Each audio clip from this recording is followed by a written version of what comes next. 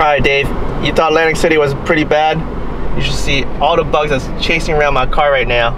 This is um, wildlife management area. Wait, hold up, let me try to get this guy right here.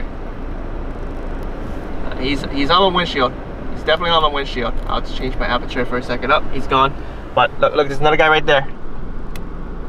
Oh man, they're, they're swarming my car when I was driving in and I, I gotta make sure my windows are closed. But we are at um, Makepeace Lake, New Jersey. This is uh, basically the Pomeranz.